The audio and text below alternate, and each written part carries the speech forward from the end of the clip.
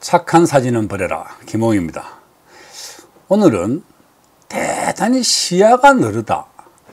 그림을 그릴 때 캔버스를 크게 쓴다 라고 하는 말이 있습니다. 캔버스를 참 크게 똑같은 사이즈의 캔버스일지라도 캔버스를 크게 쓴다. 이렇게 말하는 경우가 있습니다. 전문가들끼리 하는 얘기 중에. 파인더를 크 작은 36, 24mm의 필름이 들어가는 뭐 지금은 뭐 CCD고 뭐 그런 거겠지만 그것이 들어가는 그 작은 파인다를 크게 쓰시는 분들이 계세요. 오늘 그런 작가분을 여러분에게 소개하도록 하겠습니다. 김재경 작가님의 작품을 여러분 보겠습니다. 일단 작품을 보면서 어, 여러분과 함께 얘기를 나누도록 하겠습니다. 첫 번째 사진 보겠습니다.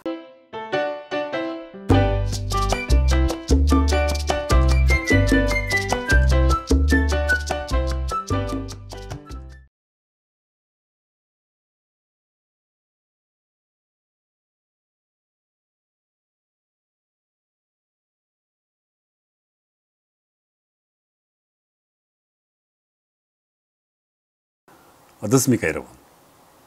하하, 참 신기하죠? 이분은 눈에 보이는 것과 그 너머에 보이는 것까지 이렇게 동시에 보는 능력이 있는 거예요. 동시에 보는 능력.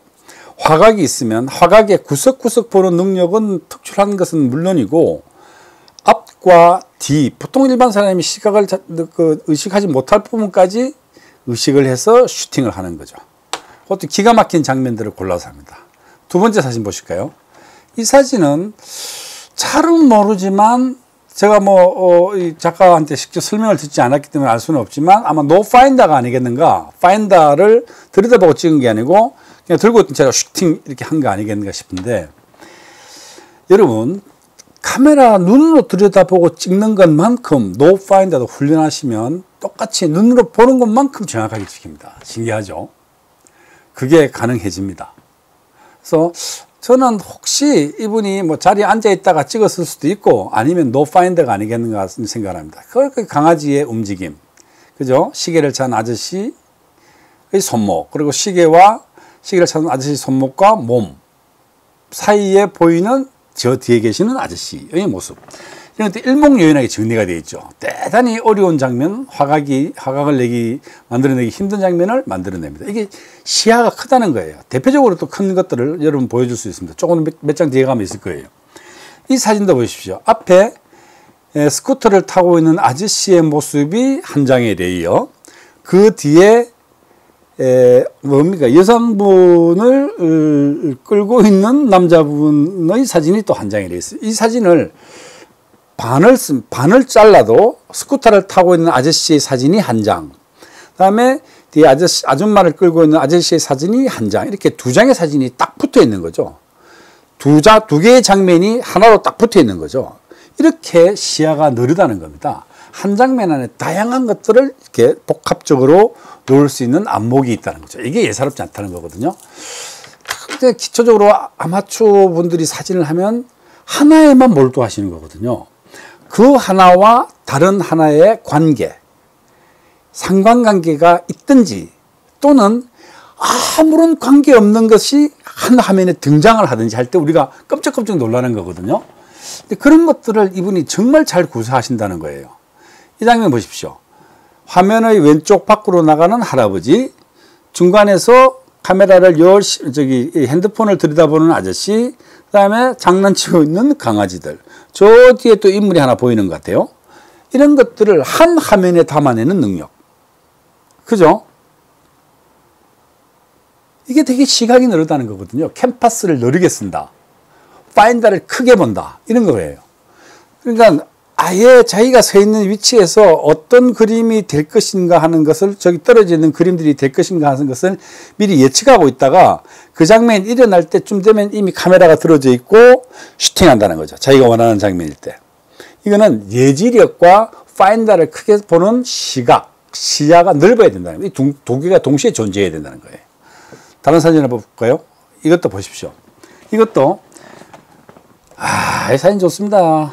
예, 이 사진 정말 좋네요. 음. 이런 식의 사진들이 계속 등장한다는 거예요. 어떻게 보면 어, 내셔널 지오그래픽의 아프리, 아프리카, 아프, 아프가니스탄 소녀, 아프가니스탄 소녀의 놀라운 모습을 사진 찍어 올렸던 어, 그 유명한 또 명사 치매가 왔네요. 어, 작가 아저씨. 인도의 푸른 도시, 예, 블루시티를 즐겨 찍는 그 어, 아저씨. 얼마 전에도 또 어, 자기 사진을 포토샵을 조작을 해가지고 그 세계가 발칵 뒤집혀졌죠. 그랬더니 인사는 자기는 어, photo storyteller다 이렇게 말했던 스티브 맥커리. 스티브 맥커리가 되게 시야가 넓어요. 근데 이분은 스티브 맥커리 같은 시야를 가지고 있다는 거죠. 그러니까 보세요. 화면의 왼쪽 부분, 왼쪽 부분에 에, 가게 같은 게 있고 그 가게에 아이가 앉아 있고 사람이 남자가 한 분 서 있고 또 오른쪽에는 무언가를 들여다보는 아저씨가 있고 그 위에 담벼락 위에 남자가 한 분 서 있고 저 너머로도 빨래가 걸려 있고 뭐 이런 식으로 대단히 중첩적인 이미지를 건다는 거예요. 이게 이 사진을 어, 어, 이, 이 담벼락 위에 있는 아저씨를 잘라도 한 장의 그림이 되고 밑에 있는 아저씨, 앉아서 무언가를 하고 있는 아저씨를, 오른쪽에 있는 아저씨를 잘라도 한 장의 그림이 되고, 뭔가 가게 같은 데서 서로 마주 보고 있는 이게 남녀, 아이와 어른, 이것도 잘라도 한 장의 사진이 되고, 거기 뒤에 저 뒤 너머 골목 골목 쪽으로 널려 있는 옷과 앉아 있는 아저씨를 잘라도 한 장의 사진이 되는 거예요. 그러니까 한 장, 두 장, 석 장, 넉 장의 사진 적어도 넉 장의 프레임을 한 장에다가 압축해놓은 느낌이라는 거예요, 여러분. 이해되십니까? 시야가 늘다는 거예요. 예? 어, 프로페셔널들 중에도 이렇게 시야가 늘은 사람들을 만나기는 쉽지 않습니다. 근데 이분은 되게 시야가 넓어요. 아, 매사롭지 않아요. 근데 이제 이게 좀 더 드라마틱하게 찍혔으면 하는 생각이 든다는 거거든요. 그죠? 이게 되게 구성이, 구성이 탁월하게 좋아요. 구성 자체가. 예? 다음 사진 볼까요? 보세요. 아저씨를 크로즈업 했지만 아저씨 뒤에 보이는 강아지. 그리고 너머로 보이는 골목의 오르막길. 이런 것들을 예사롭지 않게 체크해낸다는 거예요.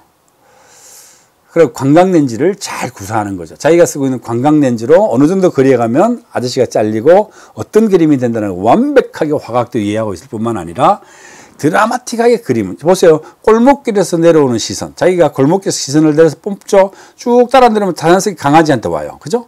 강아지한테 왔다 다시 왼쪽으로 돌아서 아저씨 얼굴로 갔다가 골목길로 다시 올라가죠. 그래서 시선이 화각 바깥으로 빠져나가지 않고 화면 안에서 빙글빙글 돌게 만들어 놓았다는 것입니다. 여러분 이해되십니까? 참, 이분 재밌, 재밌어요. 아, 이것도, 어, 어, 릭샤. 릭샤라 그럽니까? 예, 이제 예. 요 위에서 개도 자고 어, 릭샤를 끄는 아저씨도 자고 그 다음에 왼쪽 편에는 포스터 같은 게 한 장 찢어진 포스터가 있고 이게 보통 보면은 아마추어가 사진을 찍으면 잠자고 있는 릭샤 아저씨만 찍어요. 아니면 개만 찍든지.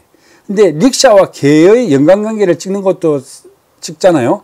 그것도 예사롭지 않지만 그것과 전혀 상관없는 포스터 사진을 넣으면서 익살스럽게 만드는 거죠. 시야가 늘어다는 거예요, 여러분. 이게 보이면 어, 정말 유니크한 사진을 찍을 수 있죠. 정말 유니크한. 근데 이거 아마 타고나는지도 몰라요. 훈련? 음, 저는 뭐 부단히 훈련을 해서 어, 이런 것을 보는 눈이 생겼습니다만 저도 타고나서 그런가? 잘 모르겠어요. 타고나서 그런지 훈련해서 그런지 이게 근데 이거 훈련했던 것 같아요. 저도 열심히 열심히 훈련해서 이게 보이게 됐던 것 같아요. 이거 보십시오. 이거 보십시오.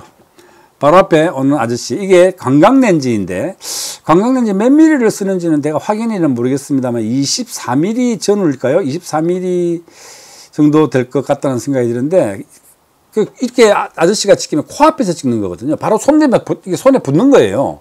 코앞에서 슉 찍는 거죠. 찍으면서 왼쪽에 따라오는 아저씨, 아저씨와 아저씨 사이에 할머니, 그리고 오른쪽에 또 여성분. 그죠? 이분은 순간적으로 스냅을 하지만, 캔디드를 하지만, 구석구석을 다 보고 있는 거예요. 제가 지난번에 말씀드렸죠. 화각을 들여다볼 때는 Z자로 보라. Z자로 보는 훈련을 많이 하면 전체가 하나의 덩어리로 보인다.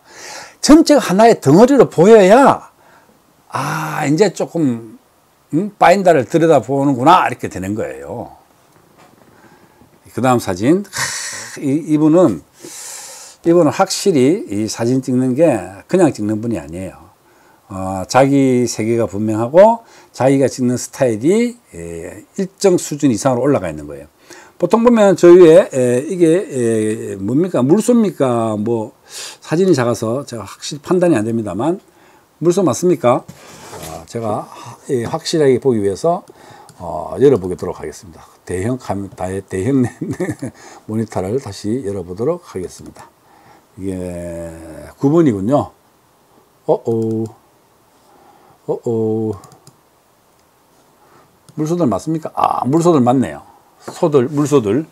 물소들이 물속에 놀고 있고 그 옆에 왼쪽 편에는 어, 반스만 있고 팬티만 있고 물 뭐 샤워를 했다든가 뭐 물에 들어갔다 나온 아저씨. 그리고 어, 햇살을 쬐면서 누워 있는 어, 아저씨. 이게 일목요연하게 하나의 화면이 되겠잖아요. 그러니까 지금 누워 있는 엎드리 누워서 햇살을 쬐고 있는 아저씨만 찍어도 한자 하나의 장면 하나의 완벽한 장면이 되고 물 옆에 서서 어, 팬티를 입고 물 옆에 있는 아저씨만 찍어도 하나의 장면이 되고요. 물소만 찍어도 하나의 장면이 된다는 거예요. 근데 이분은 그것들을 하나의 화면에다가 겹쳐서 레이어를 하나 둘 셋 겹쳐서 몽타주식 쫙 넣는다는 겁니다. 이 테크닉이 예사롭지 않습니다, 여러분. 이렇게 보는 게 예사롭지 않아요. 근데 이분처럼 시야가 넓을 수 있기도 바랍니다. 아, 열 번째 사진도 마찬가지예요.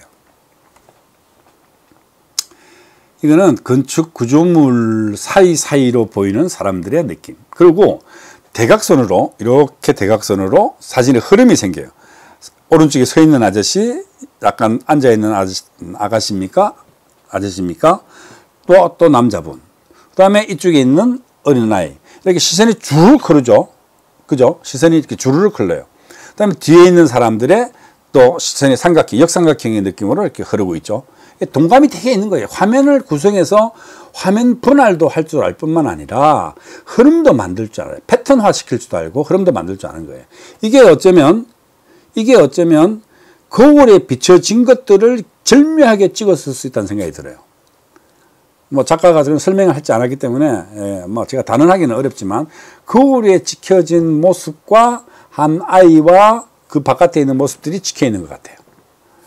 이야, 예사롭지 않네요. 이번 시각 장난 아니에요.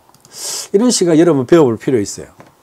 어, 제가 큰 화면으로 다시 보도록 하겠습니다. 아, 역시, 예, 거울 맞군요. 예, 여러분. 하, 이게 가게 안과 가게 바깥?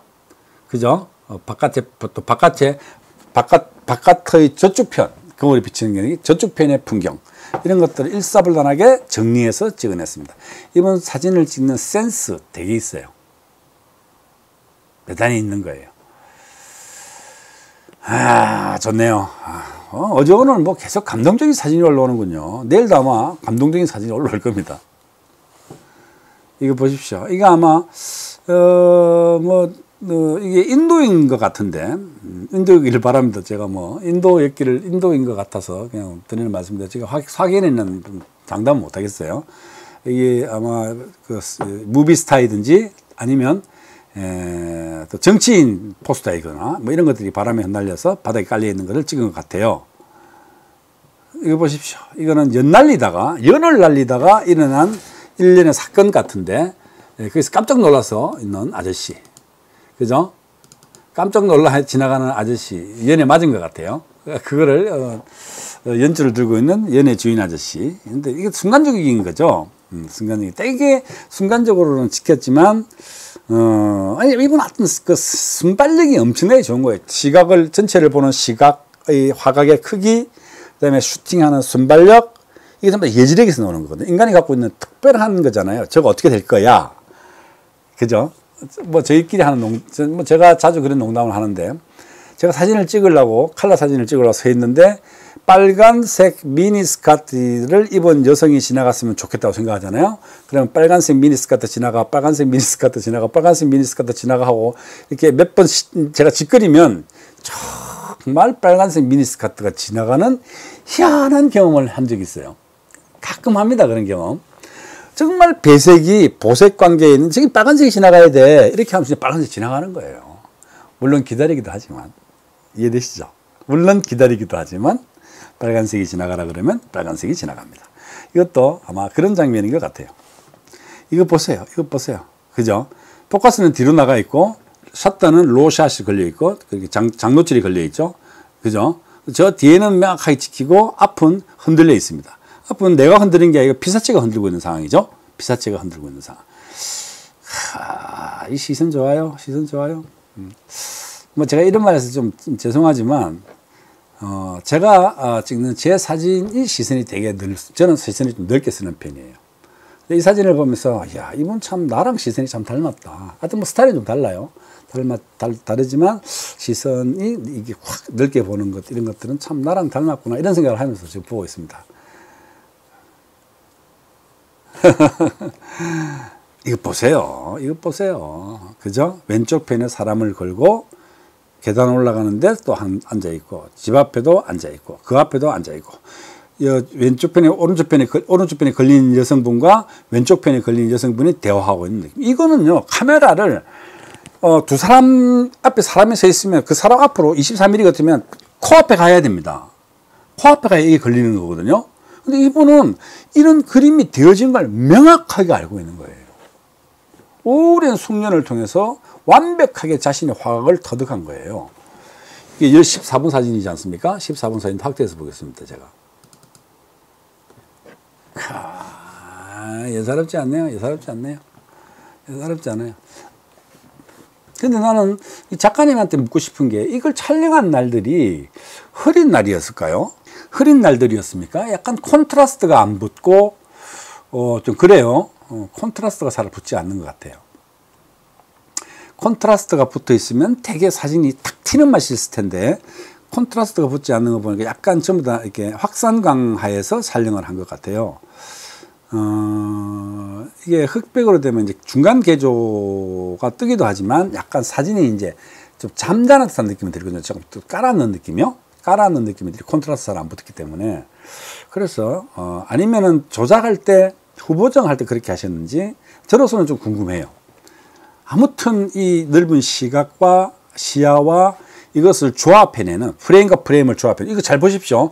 제일 앞장에 오른쪽에 왼쪽에 걸려있는 여성분의 얼굴 두 장이 하나의 프레임이에요. 하나의 프레임이고 이 자체로도 충분히 사진이 되잖아요. 그리고 여성분 바로 뒤에 있는 실루엣으로 보여 있는 아이인 것 같아요. 아이의 사진. 아이도 한 장의 사진이 완벽하게 나오죠. 그죠? 그 다음에 그 뒤에 있는 무리들, 문 앞에 앉아 있는 무리들도 한 장의 사진으로 완벽하게 구성이 될 거라고 생각해요. 그리고 오른쪽에 있는 분의 사진도 한 장의 사진으로 완벽하게 구성이 될 거라고 생각합니다. 오른쪽에 있는 분은 여성분의 머리에 이 잡아주는 것 같아요. 그죠?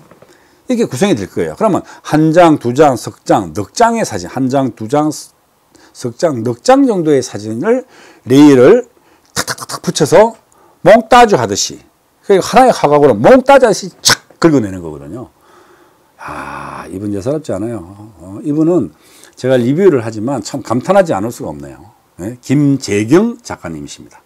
이것도 보세요. 이것도 보세요. 네? 하하, 이것도, 아, 아무렇지도 않은 듯, 아, 아무렇지도 않은 듯 오토바이가 있고, 노새가 있고, 사람들이 지나가고, 사람도 지나가는 게 왼쪽으로 지나가는 사람, 오른쪽으로 가는 사람 다 다리를 벌리고 있어요. 절묘한 타이밍을 그쳐서 되게 시야가 느리기도 하지만 자기 타이밍을 정확하게 알고 있는 거예요. 슈팅했죠. 그뿐만이 아니라 골목 안으로 들어가는 사람까지.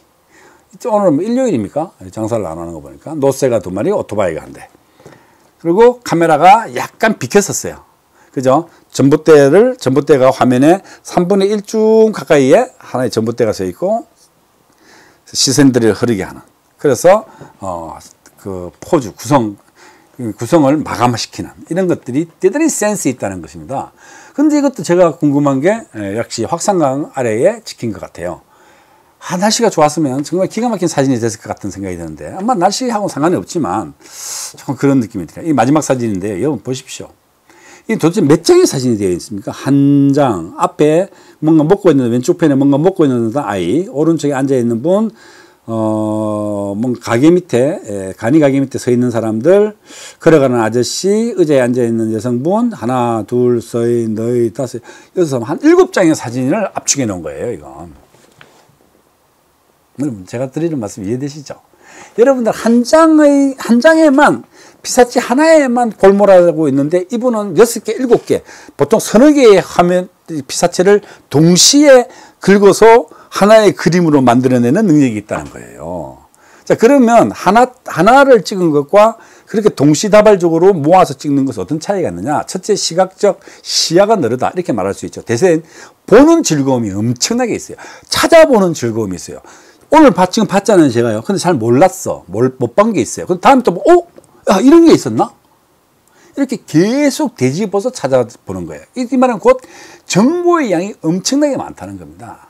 정보의 양이. 다큐멘터리 갖고 있는 특징 중에 하나가 탁 보는 순간에 확 와닿아야 돼요. 와, 좋다. 이러고 보면 볼수록 정보의 양이 있어야죠. 우리 컨템포러리한 동시대를 살아가는 우리가 우리가 시간은 같은 시대를 살지만 인도에 흐르는 시간과 우리가 흐르는 우리가 우리 사회에서 흐르는 시간 다른 거예요. 압구정동에서 흐르는 시간과 부산에서 흐르는 시간 다르게 흐릅니다, 여러분. 이거는 물리학자들이 이야기한 거예요. 그러니까 그 안에 각기 다르게 흐르는 시간들과 문화, 다양한 것들을 파악할 수 있다는 거예요. 예? 그게 이, 이 김지경 작가님이 가지고 있는 특출한 재주라는 겁니다. 그리고 이렇게 그큰 시야를 가지는 것은 작가, 작가님뿐만이 아니라 적어도 사진을 재밌게 해보시고 해보려고 하시는 분들은 어, 이것을 어, 훔쳐서 자기 걸로 만들든지 훈련하는 과정도 꼭 필요하다고 보아져요.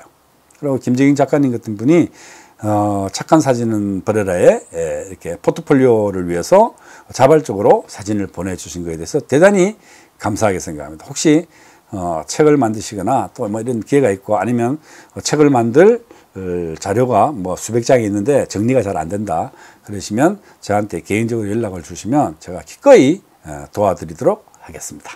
오늘도 너무 기분 좋은 리뷰였습니다. 착한 사진은 버려라 김홍이었습니다.